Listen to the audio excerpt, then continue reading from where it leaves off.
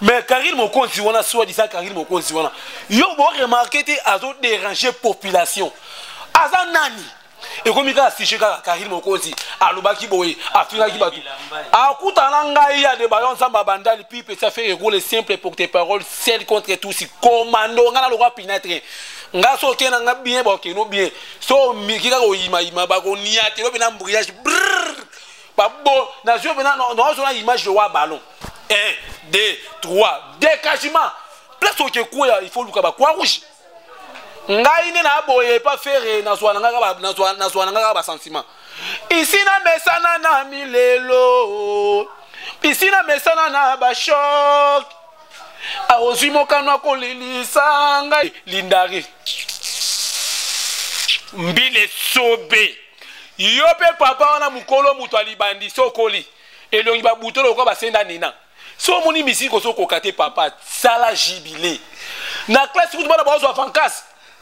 age ekei okomi na monopose moko trahison opan yo bule so opesi kiku kechi tokenda ngo wapi kiku atambola kechi ngono atambola na sandal karine mokonzi nabima nde deux fois nabela six fois mwasi moko eno se retrouve kaka na bainfection nao se retrouve kaka na sopice nao se retrouve kaka na sanga yango bwana posanganaki na morgue vivant obende nao comprendre te mpe karine mokonzi fo yeba yango asila kosala bacompétence ye na glo olangi mpo glo olangi aza mwasi kitoko atanga chik bagage kombo par rapport à quoi lelo oyo tomoni oyo toki baprofesi komo kokisama lelo oyo jenny aza susu na jet set ya faire egola te bon omoni jenny aza bosser aza beau garçon ayemaka bien mais na vie vie ya presse eza mabe yango na lisese na oloba oyolaka te nzoko likoya likelele Le padre Ferre Gola Jésus de Nias, papa social, ni Kaboronika, Mota Yambo, Mota Mela, ba immeuble. Présent ou azana beauté ya nonandi bébé na kasa berceau mais ba les voix différents. Présent ou azana beauté ya 24 ba si plus que sirène na compliqué nzamba avant nzamba sala eh. Présent ou soko tambola nzira mili kezo kwela mais ba lokota ba sa de Gina tongo. Mais Jennifer ça patient. boni kozala molimo presse boye epa fere ekola bavoyage obanda okende bavocal otyaka bavocal mais sikoyo mpo na voyage angola otikali yango ozwi décision olonga pa fere oke epa soit disa mutu nguba mpo jeni apa kofi mutu nguba aventire mwa irresponsable numero 00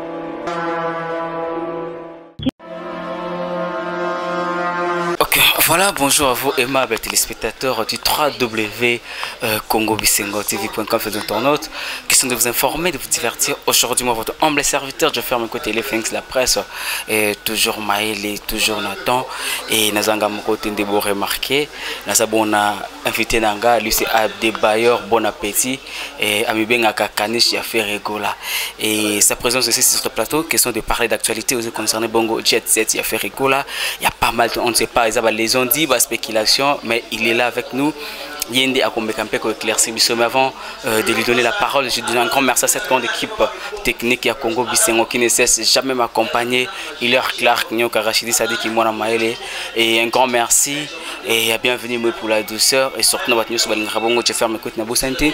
depuis Irlande maman Likelemba Antonia Nsimba moi c'est kitoko na kata Dublin papa kololo ifaso papa na jordan kololo na kati ya reine en tout cas un grand merci et na bosani yo te son éminence abega lokeni un motetela na kati ya paris un grand merci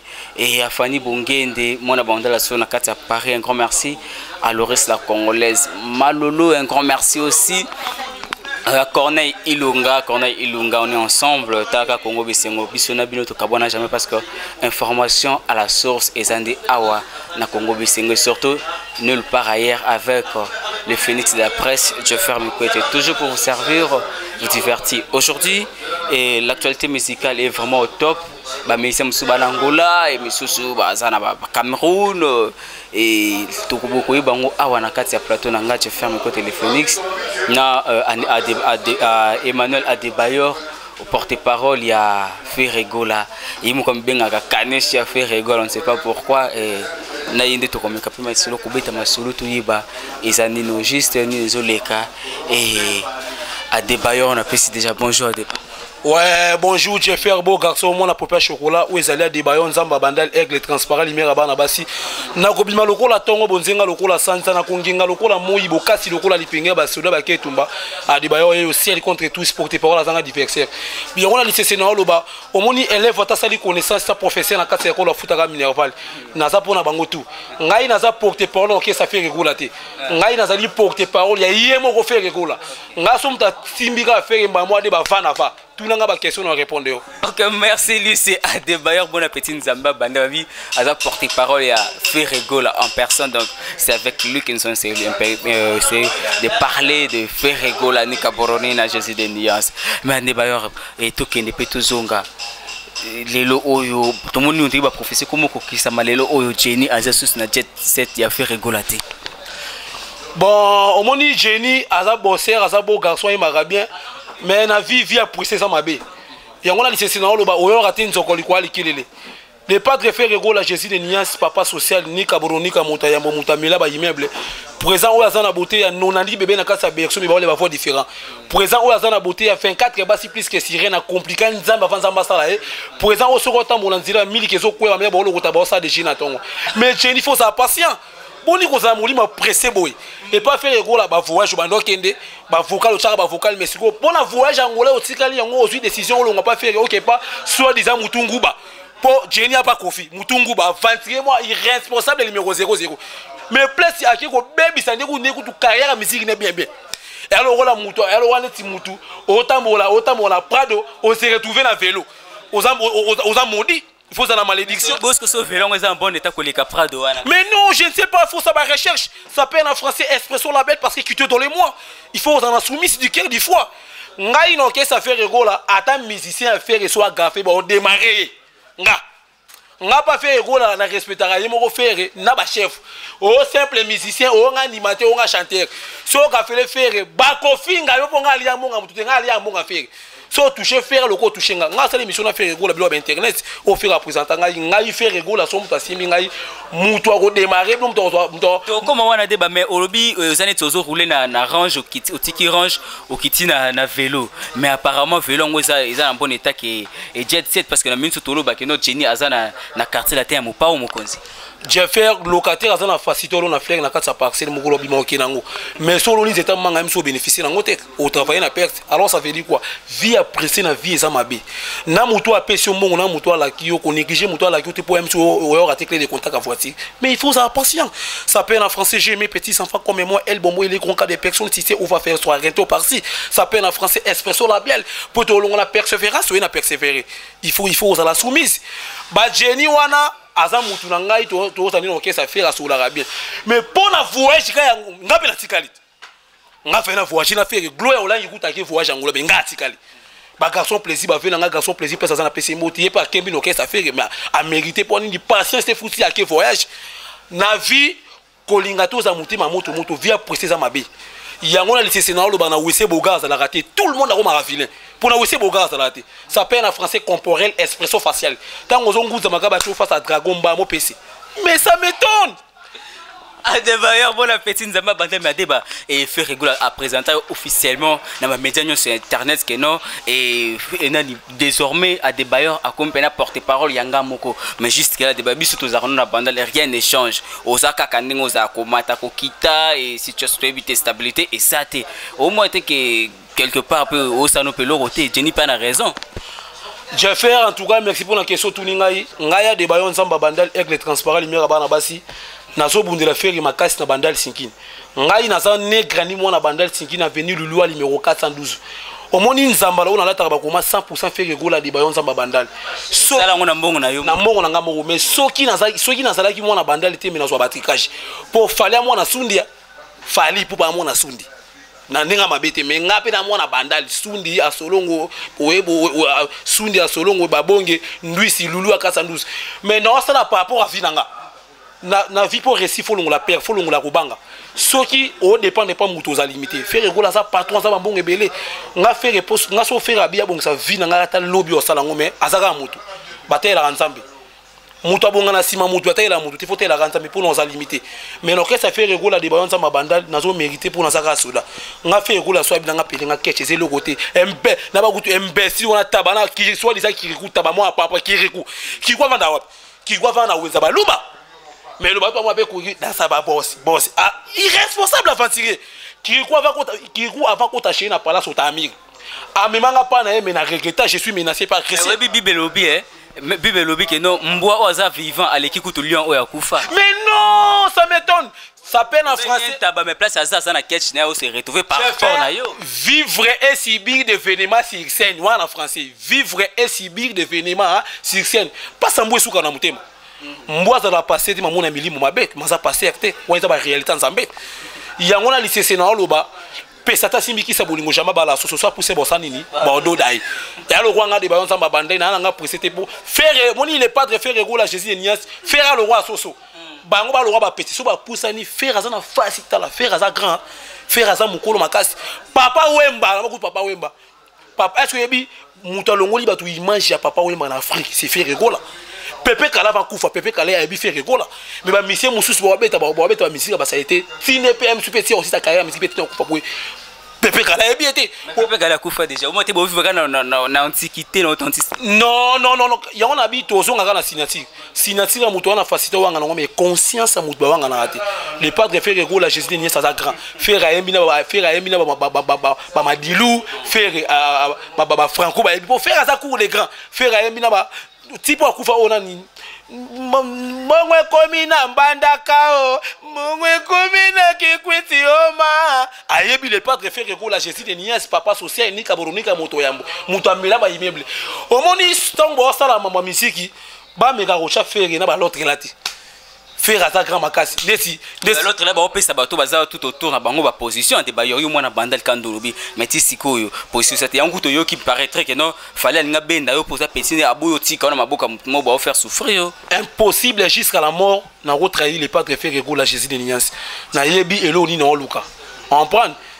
na vie eloko eleki patience eza te soki oza na molimo ya presse na vie oza limite oyo comprendre yango na lisese na oloba élève ata asali connaissance ta professeur na kati ya ekolo afutaka minerval komeka te opo ofutaka minerval mpo aza ni simple mesi monga minerval oleka na bureau yalo wanga de bayo nzamba bande to wana tera milangi fula ta botia mabende so la ti botina ko pa o paso ka misa PM sous ma kole ko de ko déplacer ça perd en français expression polyvalent oza mabe makasi Mais alors nga de balon zamba bandal, je suis là comme tu veux, nazo parler mambo le padre faire gola Jésus de nuance, naza wana. Ngai faire gola soit bien pesa nga catch et le côté, faire gola pour pesa nga ba basket, ba jeans et le côté, faire gola pour changer vie na ngeze le côté mais na ko dépendre pas na yete pour ça kaka mutu. nomoni te ke bajournaliste oyo bazo dépendre epa faire gola lelo bazomema bango na bavoyage baningi ozotikala neti na neti na neti na ake ake voyage ngana tika héritier meme ba ba journaliste na poto fait regula y compris meme ba journaliste na poto mais ba journaliste wana o héritier meme na poto wana bazalaki ba journaliste mais na ngola bakomi ba cameraman tobeta nao litolo bien neti ve nanga dams ve nanga dams ngai nayebi ana kini azala azala azala azala cameraman mais héritier meme na ngola okomi okomi okomi pardon awa azalaka azala so journaliste mais adams awa azalaka journaliste mais héritier meme amemi na ngola mais akomi ne cameraman aventurier tout fait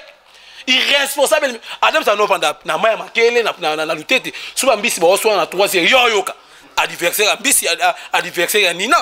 c'est du blague adam sa dinda pe likambo pasi adam si baninga badinda na mbula mais yo dinda tinelanga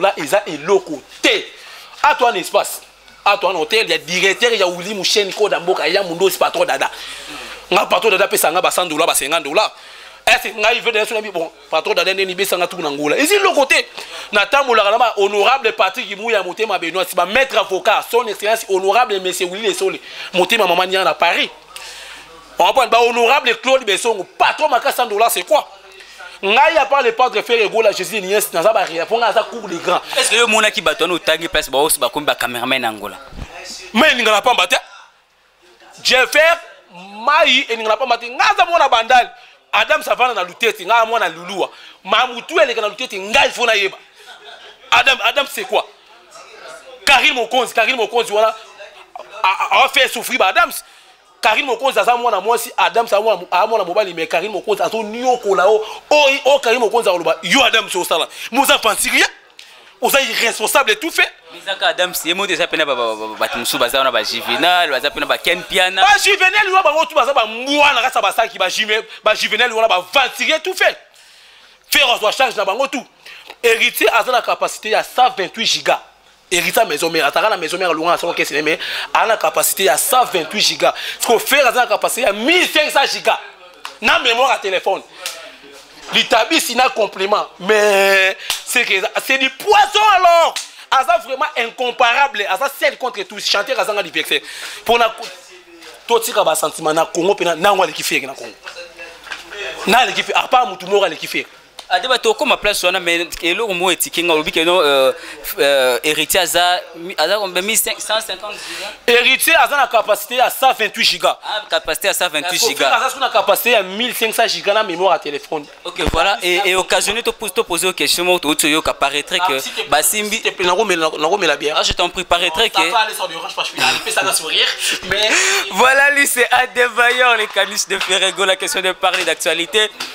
Et il est avec nous sur ce plateau et vous sentir animation et il est comme ça vous messane Karabongo et à Debayo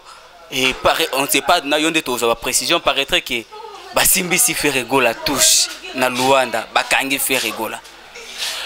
bon omoni mambo wana nde nayoka basimbisi le padre fere gola jésus eniasi touche na ngola mais ça m'étonne nga na recruter nango naza déranger est ce que bino mpe bamontage mpe ezalaka musicien lokola le padre fere gola jésus denies papa social nika boro nika moto ya yambo fere amemi orchestre na angola soit disant héritier ake esimisa fere touche na angola impossible jusqu'à la mort soit disant nga nayoki babis kofi olomide asali asali asali asali balikitana asali bareunion niyo ya papa basalite pola ya soa masuba bake esimbisa fere touche na ngola mpo ani ye moko kofi asimbisa fere touche ba etinda bato siki bona kapasite moke bozobanga bozobanga makasi fere gola ntango azalaka na maison mare kala bakendaka angola angola ezalaka crate dega liboma ndeti kuna mpe okese place azwaka nkombo ya, ya chair de poule wana chair de poule eza depuis kala azalaka mpe akozala mpe akomultiplie atriple ya diborde pa multiplication apasoli na mire ocomprendre l'autre là place ifere azalaka na kala babeta concert na angola bazalaka na imparte mpo fere azalaka na okese wana toka fere alongwe okese ekufa okese elala mais lelo angola esimbami actuellement epai héritier watana ya wapi musique nini ya malonga oyo erisa azobeta oyo ecartone mpo musique erisa abetaka esuka kaka na veni na bango mais na ngola kuna toyoki kendo na baconcert obetami na minute oyo eza ya héritier nde moto esali impact mais na bie eza te oyo mpo na polémique nao se vante mpe nao flate ye moko héritier alobaki oyo na monoko na ye ngai soki nabeti diske na ngai esimbi te bakate loboko esimbi mpe te yo na bi tozonga kaka na signature signature ya mutu oza na facilité owangana mais conscience un jeune pambo ayebi yango beau garçon un jeune beau garçon na ndenge par rapport moto okadre hotel ya directeur ya wuli musheni kota mboka ya mundos patron dada masanga kitoko hotel classe baclient baose retrouve baose sentir baza l'aise voilà puisque obeti lisolo hotel toprofite mpe tobeta mpe mwa parenthèse moko tokoki keno kuna na angola héritier alalisi bato na hotel ya 5 étoile mais kote koyo kote ya fere egola balali na hotel moko boye soki balalaka kala ntango bakendaka boye hotel oyo fere alali na angola eza eza hotel oyo michael jackson ava kufa alala nango hotel oyo fere alali na angola eza hotel oyo michael jackson ava kufa abetaka tuku na angola place alalaka place fere egola afandi omona te badimension eza likolo eh? badimension eza likolo makasi yango na lisese na oloba sulaka soin sa barman te mpo osanga moto oleki so masanga o ngai alaka mara patron me ngambo na simba afungola mais je manque te bon sulaka soin sa barman te okozanga moto akodefi so masanga oyo nde singa deba yo boye na ye na terrasse ya directeur au oui nde singa deba yo boye na pi petit ya directeur ya wili musheni boss dada siko place na cop ngai na ye ve dada aza te nakuti sikoyo moto aogere plat mpe na ye na soini te mpo ngai azanga sulaka sikoyo na oswesa sikoyo moto oteka masanga na kati hotel na ye mais fo nazala folle garçon mpo ye aza te o oh, ngai naza pipesi no ngai nao gere baplan seke na oyoka oyo asala nini akoloba na ngai yango omoni mwana moke aza na facilité okima na maboko ya mokolo mais soki akomi na prince kaka mokolo na moto akatisa ye ya lokola ngai libayo nzambe abandi na kimi na maboko ya fere ekula soki nakomi na prince to ezalaka fere akatisa ngai voilà tobeta liso ndongo olobi kende omona moke eso akimi akoluka katisa prince mokolo kaka okatisa ye na minute oyo na ba na ba musiciens congolais nyonso tout na africain na nazo katisa bango na na milieu européen tout na milieu oyo ezo bendo ba bengaka musique urbaine le padre Ferre Gola Jésus de Nias papa social ni kaboronika moto ya non sans qui fanatisme fanatisme était ta normal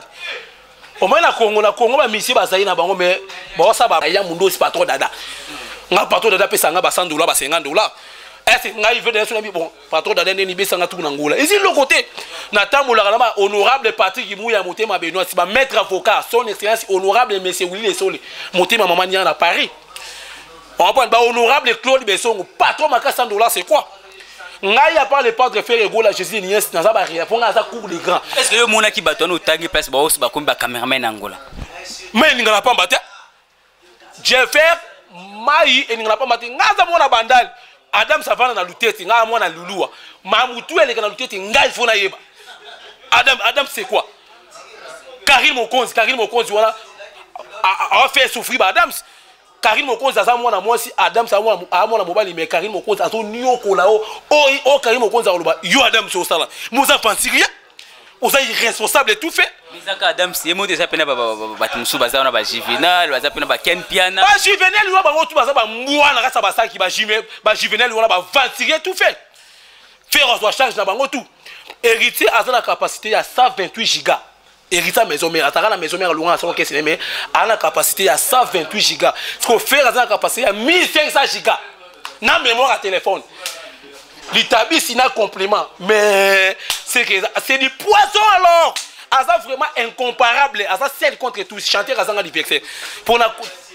totika basentiment na congo mpena nango aleki fere na congo na aleki fere apart motu moko aleki fere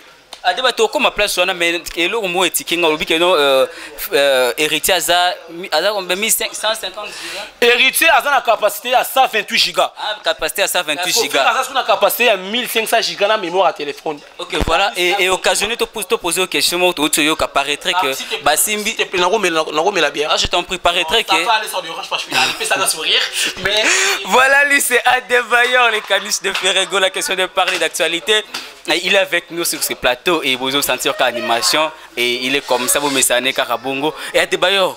et pareil on ne sait pas na yonde tous la précision paraîtrait que basimbi si ferre gola touche na Luanda bakangi ferre gola bon omoni mambo wana nde nayoka basimbisi le padre fere gola jésus eniasi touche na ngola mais ça m'étonne nga na recruter nango naza déranger est ce que bino mpe bamontage mpe ezalaka musicien lokola le padre fere gola jésus denies papa social nika boro nika moto ya yambo fere amemi orchestre na angola soit disant héritier ake esimisa fere touche na angola impossible jusqu'à la mort soit disant nga nayoki babis kofi olomide asali asali asali asali balikitana asali bareunion niyo ya papa basalite pola ya soa masuba bake esimbisa fere touche na ngola mpo ani ye moko kofi asimbisa fere touche ba etinda bato siki bona kapasite moke bozobanga bozobanga makasi fere gola ntango azalaka na maison mare kala bakendaka angola angola ezalaka crate dega liboma ndeti kuna mpe okese place azwaka nkombo ya, ya chair de poule wana chair de poule eza depuis kala azalaka mpe akozala mpe akomultiplie atriple ya diborde pa multiplication apasoli na mire ocomprendre l'autre là place ifere azalaka na kala babeta concert na angola bazalaka na imparte mpo fere azalaka na okese wana toka fere alongwe okese ekufa okese elala mais lelo angola esimbami actuellement epai héritier watana ya wapi musique nini ya malonga oyo erisa azobeta oyo ecartone mpo musique erisa abetaka esuka kaka na veni na bango mais na ngola kuna toyoki kendo na baconcert obetami na minute oyo eza ya héritier nde moto esali impact mais na bie eza te oyo mpo na polémique nao se vante mpe nao flate ye moko héritier alobaki oyo na monoko na ye ngai soki nabeti diske na ngai esimbi te bakate loboko esimbi mpe te yo na bito ozongaka na signature signature ya mutu oza na facilité owangana mais conscience un jeune pambo ayebi yango beau garçon un jeune beau garçon na ndenge par rapport moto okadre hotel ya directeur ya wili musheni kota mboka ya mundos patron dada masanga kitoko hotel classe baclient baose retrouve baose sentir baza l'aise voilà puisque obeti lisolo hotel toprofite mpe tobeta mpe mwa parenthèse moko tokoki keno kuna na angola héritier alalisi bato na hotel ya 5 étoile mais kote koyo kote ya fere egola balali na hotel moko boye soki balalaka kala ntango bakendaka boye hotel oyo fere alali na angola eza eza hotel oyo michael jackson ava kufa alala nango hotel oyo fere alali na angola eza hotel oyo michael jackson ava kufa abetaka tuku na angola place alalaka place fere egola afandi omona te badimension eza likolo eh? badimension eza likolo makasi yango na lisese na oloba sulaka soin sa barman te mpo osanga moto oleki so masanga o ngai alaka mara patron me ngambo na simba afungola mais je manque te bon sulaka soin sa barman te okozanga moto akodefi so masanga oyo nde singa de bayo boye na ye na terrasse ya directeur ya oui nde singa de bayo boye na pi petit ya directeur ya wuli musheni boss dada siko place na cop ngai na ye ve dada aza te nakuti sikoyo moto aogere plat mpe na ye na soini te mpo ngai azanga sulaka sikoyo na oswesa sikoyo moto oteka masanga na kati hotel na ye mais fo nazala folle garçon mpo ye aza te o oh, ngai naza pipesi no ngai nao gere baplan seke na oyoka oyo osala nini akoloba na ngai yango omoni mwana moke aza na facilité okima na maboko ya mokolo mais soki akomi na prince kaka mokolo na moto akatisa ye ya lokwa ngai libayo nzambe abandi na kimi na maboko ya fere ekula soki nakomi na prince to ezalaka fere akatisa ngai voilà tobeta liso ndongo olobi kende omona moke eso akimi akoluka kati ya prince mokolo kaka okatisa ye na minute oyo na ba na ba musiciens congolais nyonso tout na africain na nazo katisa bango na na milieu européen tout na milieu oyo ezo bendo ba bengaka musique urbaine le padre Ferre Gola Jésus de Nias papa social ni kaboronika moto ya non sans qui fanatisme fanatisme était ta normal omoi na congo na congo bamisie bazali na bango me baosa ba voilà mpo na yo lelo a debailleur sans euh, kifanatisme sans kozala zala vraiment impartial mpo na yo lelo oyo na bamusicien congolais nani azo défendre valablement musique na biso surtout na, na étranger mais mutu oyo aza kodefendre misiki na biso ya kongo ezali le padre fere gola jésus de nies papa social nika boronika moto ya yambo yango mona lisese nazoloba mwana bebe na kati ya maternité aza na mposa connaissance te mpo oswa na nani ebaya eh mpo na yo vraiment lelo oyo na bamusicien na biso congolais banani nani oyo azorépondre mpe azo nani oyo azodefendre valablement musique na biso na étranger mais moto azodefendre miziki na biso eza le padre ferre gola jésus de nias papa social nika boronika moto ya yambo ye mikolo na obenga ye ndoki penja biki rouge professeur bamisa mike mike ya pampamba wana baobeta miziki me bozonga kaka epa le patre fere ekola mpo oyo aza sel contre tous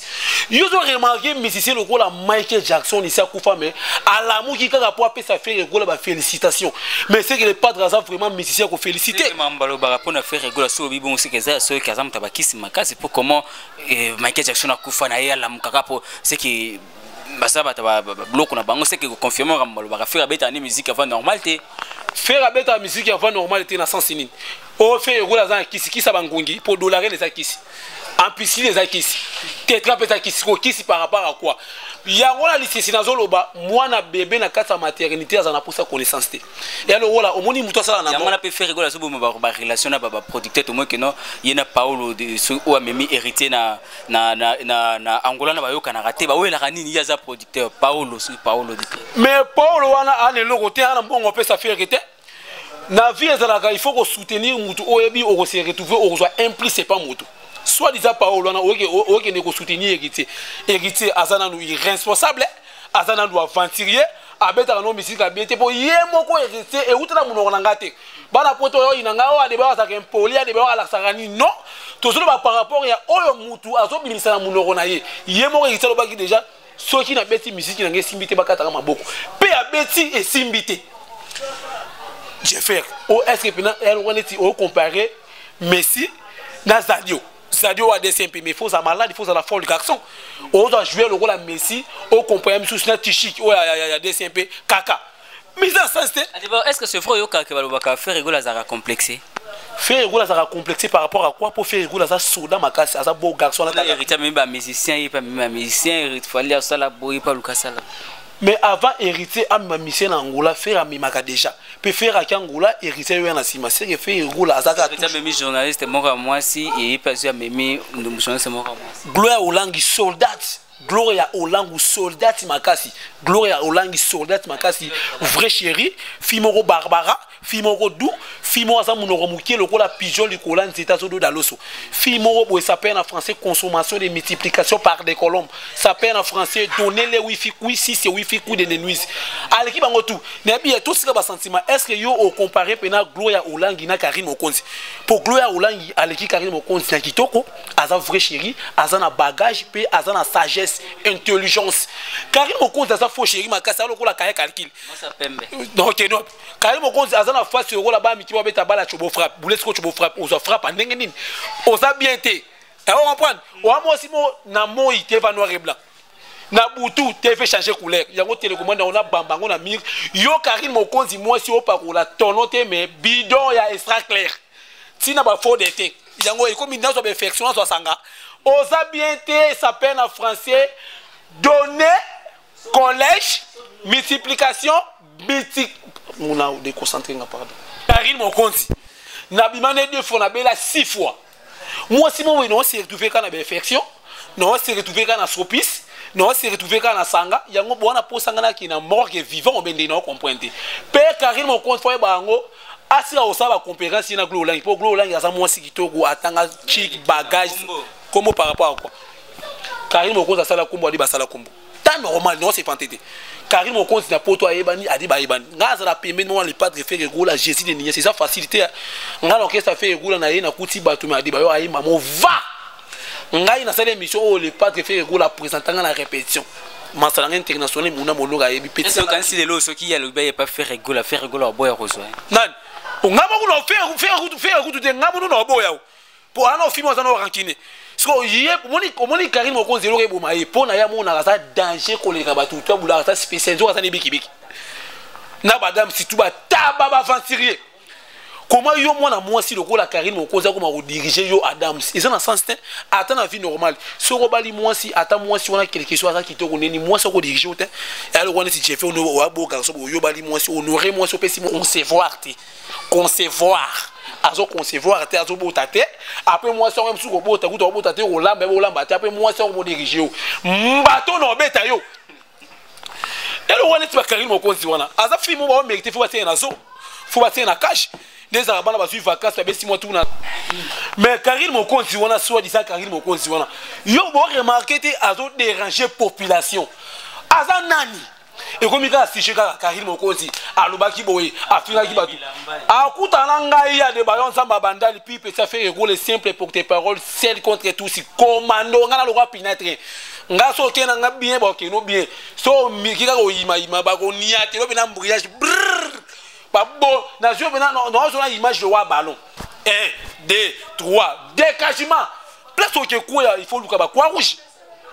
ngai nde na boye epa fere nazwa na ngai kaka basentiment isi na mesana na milelo isi na mesana na bashok ozwi mokano akolelisa ngai sala na ngai nyonso oyo olingi motema na yo otipi gerale oh, tala nsima azonga wana soko grand frère nanga tipi jeka na bwaki moto atikela libayo libele mpo ngai namona suka babota biso 4 de fille de garçon ya libayo ngai mona conclure libuma mama eh, mama nanga kufa vraiment place ozali mes condoléances mama abotanga place ozali mes condoléances mpo menga nanga kufa mais à part ça je suis là vraiment comme tu veux ya libayo azali tout oboseka toluka vi na ndenge par rapport na ndenge ata normal mais mokonzi na ngai le padre ferre gola jésus de nuance mokolo ya mayele oyaka litoyi moko te oyakaka de matoyi yoka na gauche yoka na droite petition ya debayor naza negrani mwana banda ya lisinki naobundela yo naolanda mpo na intere te mais tozongaka na conscience kanisa ata debayor un jour na vie nao mpo na obunda makasi sankara dekuta mwa moke mwana balekaka mokolo na bilamba me balekaka mokolo na mataba te moto avandaka likolo ya nzete so akweyaka na mposa kokamwa te mpo yebi wana ya ndako na ye si amesana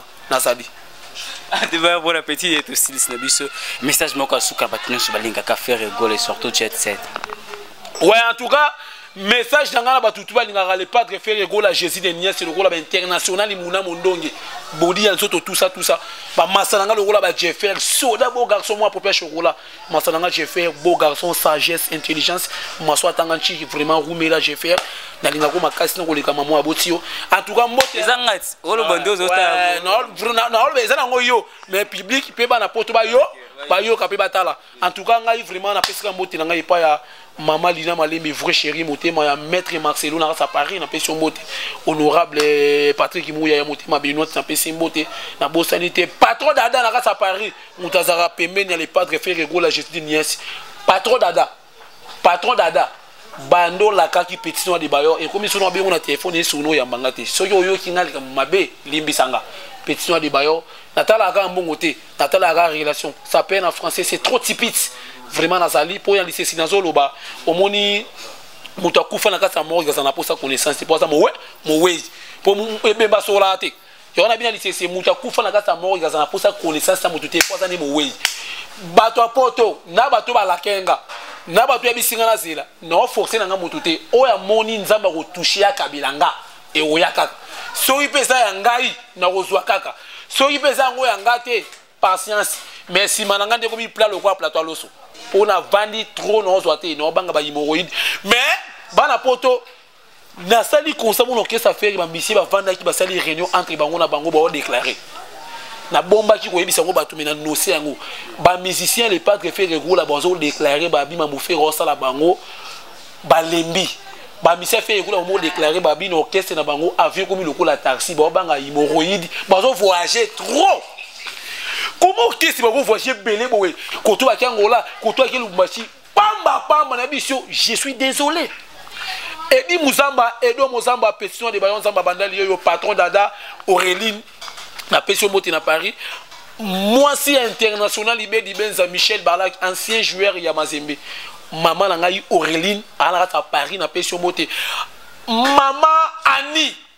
Mama Annie motema ya honorable Mese Willy Lesole patron makasi mama ni na sa Paris na pesi mote na pesi mote na ngai pa ya Arti Mongo Arti Mongo pesion le bayo ye ono abundaka na ndenga kin nango na ndenga pa po me poto ngo ezana ngo savonte me na roya na bosani te vena nga fola matondo petit noir de bayo nzambe abanda liyeyo nabosani mpe toni ngoi toni ngoi nakasa paris bato tu balingaka le padre fere gola molinga nga so olingaka fere gola bato tu balingaka le padre fere gola jésus de nias nga so olingaka no kaka fere na opprecie yo ozala du na ngai na biso degre na olinga yo ocomprendre te mpe naa na defo moko nga moto alingaka fere ata bazoswanisa yo zwa limero na nga bien bana poto nga toza na poto mutu moko azoswanisa yo yo okoswana na ye te zwa limero na ngai ntango obenga yango otieme libre okoyoka bamuna osala ye limero na ngai ezali kode ya mboka ya wili musheni 243 limero na ngai ezali 089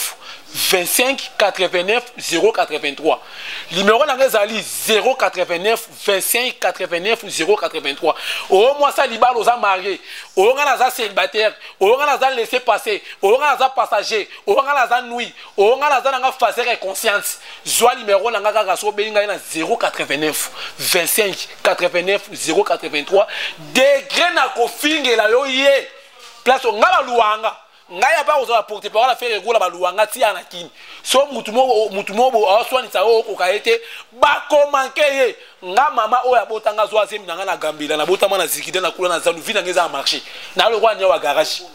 pas de souci pas de temps mort bakofinga yo ata na orchestre affaire egola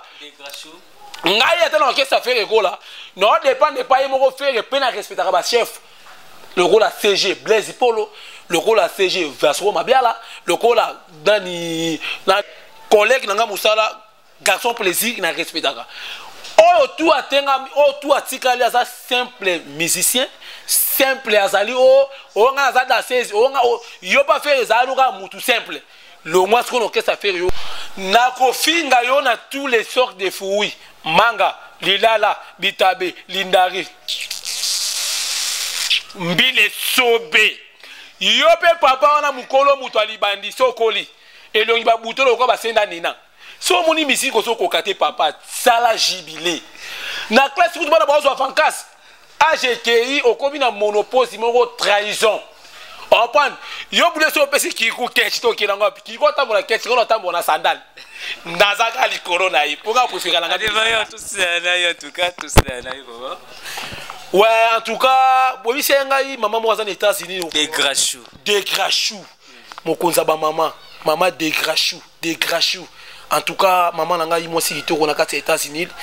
oyo ezali adiba yo nzambe abanda aigle transparent limera bana basi mais omoni mama degrachou degra bolingo na opesa yo soki noko na ngai azalaka pape na catholique na ngai asenga basala perimetation balingaki balongola mpena ekeko ya mama maria batie degrachou otondi gracia mokonzi azali na yo abenisi oyo yambo ya bansi banso abenisi mpe yesu kristu mwana na yo entouka omoni degra bolingo na opesa yo esala nga mpe bien etanke ya libala nzambe abandeli soki opesi nga bolingo ya convexe ata mbula ebeti oza na fasite otambwa nango mo opesa nga bolingo ya kombi misuku okita na birmanie asusa bolingo ezanga destination mpe mama degrachu kabela nga makasi mokolo na bongano osongisela yo oza na beauté ya 24 basi plus que sirène mutoki no apambwa moke lokola pigeon likolo ya nzete ozoduda loso oza mwasi moko oza rosé oza doux oza na tendresse mpe opesaka bato kimia komono kaka boya pamba olongolaka deja nzala seke rumela numero na ngai ezali 089 25 89 de grachou coup de chapeau mama bota de crachou abota mwasi abota barbara abota momi mama abota degrasue mwasi kitoko mama de baleli mama nga na pleure mama de baleli degrasue naleli eh, degrasue nga naleli nazolela merci merci beaucoup oleki bango nyonso tu nabosani ye sile ya aigle jaune motema le padre ferre gola jésus de nuance ntango naomona sila aigle jaune en tout cas rumela merci beaucoup c'est adebayor le caniche de ferre gola question de parler d'actualité concernant et cet orchestre cher à ferre gola nika boronina et nous avons reçu pour vous emmanuel adebayor le caniche de ferre gola c'est avec lui et qu'on a eu à parler et de cet orchestre de ferre gola qui séjourne en ce moment